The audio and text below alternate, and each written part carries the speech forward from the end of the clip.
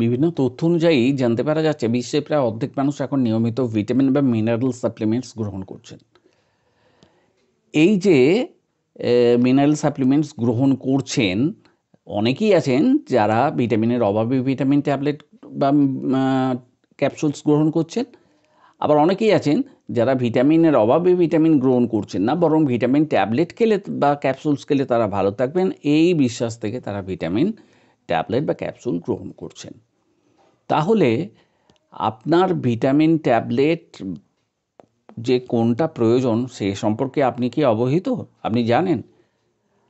বাজারে অনেক ধরনের সাপ্লিমেন্টস আছে। ভিন্ন ভিন্ন ভিটামিন মিনারেল সমৃদ্ধ মাল্টিভিটামিন ট্যাবলেটস রয়েছে ক্যাপসুলস রয়েছে, কিন্তু এর মধ্যে কোনটা আপনি খাবেন? নিশ্চয়ই আপনি জানেন না। এ আপনাকে বলে দেবেন কেবলমাত্র ডাক্তারবাবু।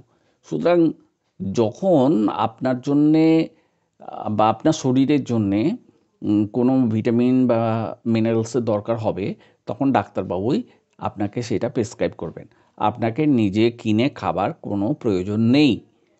দেখুন, একটা ব্যাপার পরিষ্কার যে তেরোটা প্রয়োজনীয় ভিটামিন আছে, যেগুলো আমাদের স্বাস্থ্য ভালো রাখতে সহায়তা করে। কিন্তু এগুলো কোনটা? আপনি সাপ্লিমেন্ট হিসেবে গ্রহণ করবেন। আর একটা প্রশ্ন মনে জাগে, সেটা হলো যে একটা মানুষের কি রোজ ভিটামিন খাওয়া দরকার? দেখুন, দু ধরনের ভিটামিন আছে, এটা আমরা জানি। একটা হচ্ছে জলে গলে যায়, আর একটা হচ্ছে চর্বিতে গলে যায়। চর্বিতে গলে যায়, এমন ভিটামিন হচ্ছে এ ডি ই আর কে আপনার শরীরের মাধ্যমে এগুলো জমা হয়। সুতরাং প্রতিদিন যদি আপনি ভিটামিন না খান, তাহলে আপনার শরীরে ভিটামিনগুলোর সরবরাহ বজায় থাকবে। যদি আপনি অতিরিক্ত পরিমাণে ভিটামিন গ্রহণ করেন, তাহলে শরীরের ক্ষতি হবে। সুতরাং কখনোই অতিরিক্ত পরিমাণে এই ধরনের ভিটামিন গ্রহণ করবেন না।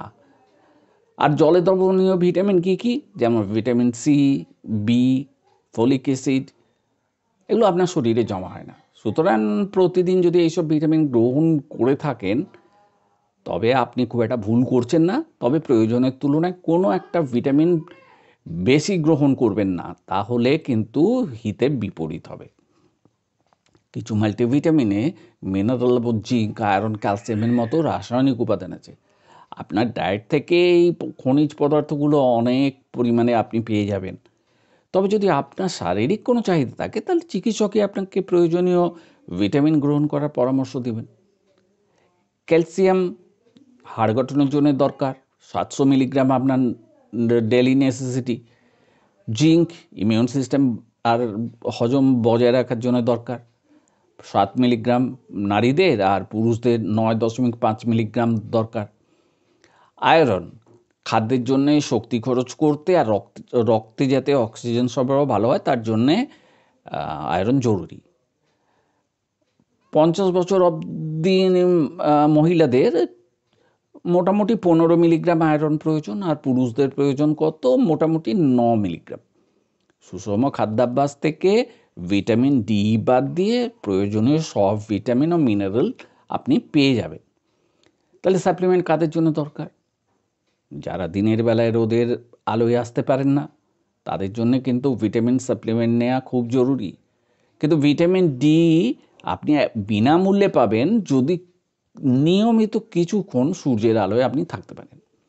বিশেষজ্ঞদের মতে খাবার দিয়ে ভিটামিন ডির অভাব আপনি কিছুতেই ঢাকতে পারবেন না। এই ভিটামিন শরীরের জন্য অত্যন্ত প্রয়োজনীয় এবং সূর্যের আলো ছাড়া মানুষের শরীর এই ভিটামিন ডি তৈরি করতে পারে না। সুতরাং ভিটামিন ডি আপনার দরকার। সংক্রমণের বিরুদ্ধে লড়াই করতে এটা কি করে? শরীরকে সহায়তা করে। সুতরাং না, এইগুলো যদি আপনি না পান, তাহলে আপনার শরীরে কি হবে? না। বিভিন্ন রকমের রোগ বালাই সৃষ্টি হবে আর আপনি নিয়মিতভাবে দুর্বল হয়ে পড়বেন। তাই ডাক্তারবাবুরা যদি ভিটামিন প্রেসক্রাইব করে থাকেন, তাহলেও সেটা একটা নির্দিষ্ট সময়ের জন্য করেন। আর না হলে কি বলেন? না হলে বলেন আপনি মাছ, মাংস, ডিম, দুধ, এই জাতীয় খাবার আপনি যথেষ্ট পরিমাণে খান। আর নিয়মিত সুস্থ থাকার চেষ্টা করুন। ভিটামিন গ্রহণের যে একটা হাইপোথেটিক্যাল চিন্তাভাবনা আছে, সেটা মাথা থেকে মুছে দিন।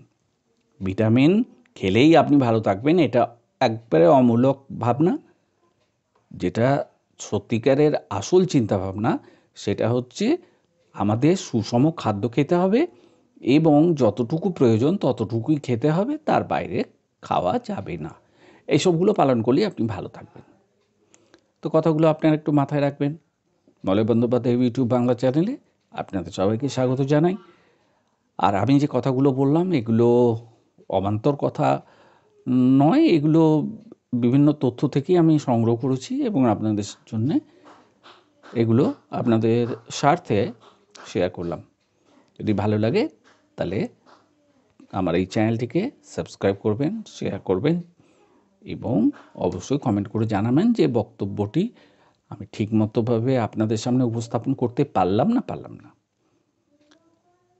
যাই হোক, সবাই সুস্থ থাকবেন, এটাই কামনা করি। শুভ সন্ধ্যা।